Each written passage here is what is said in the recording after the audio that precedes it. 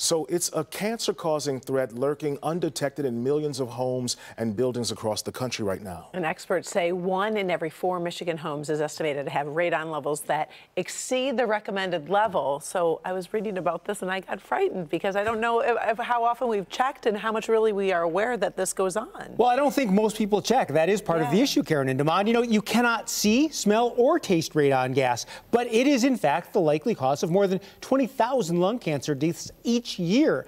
Now, a nurse survey found far too few are just aware of the risks and the steps that you can take to actually safeguard your home. Oh, wow. Chastity Harney always tried to live a healthy lifestyle. Oh, stop it. Lung cancer was nowhere on her radar. When I was diagnosed with lung cancer, um, you know, I didn't smoke, so there had to be something else out there. She learned her home had twice the acceptable limit of radon, a naturally occurring radioactive gas that's one of the leading causes of lung cancer in non smokers. Until it happens to you or somebody that you know, a lot of people just they just look over it. A new national survey by Ohio State's Comprehensive Cancer Center finds 48% of Americans are unaware of the risks of radon in their home, and just one in four have had their homes tested. Radon is something we can do something about and is a known uh, cause of a horrible disease, lung cancer, and it's remediable. So here's the mitigation system. Remediation usually involves capturing radon from the ground under the home. Radon is sucked up through this and diverting it outside. While there are radon hotspots across the country, no one is without risk, and it doesn't just lurk in old, dark basements. This is more of a problem with modern homes because they tend to be more and more sealed up inside and, and weather tight.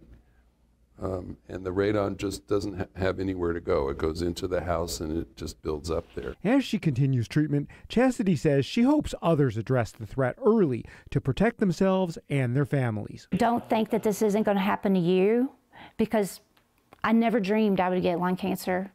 And I'm, I'm here, I'm living with it, and there's so many others just like me. Now, radon test kits can be purchased at home improvement or hardware stores. They're also available for low or no cost from many health departments.